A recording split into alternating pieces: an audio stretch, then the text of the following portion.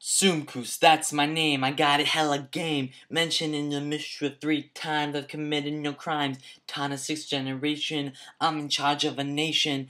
Died in first Amora generation. The world was filled with frustration. Born and lived in Eretz Israel, the place to be. It's better than Glee. Do we agree? Ugh, my teacher Rabbi Meir, he ain't a player, but he a Talmudic slayer. I'm one of the greatest minds at the time. Damn, I'm so good I can rhyme. It's sublime. I'm the smartest of the smart. But now I got a part. Peace. Shalom. It's been good to know ya.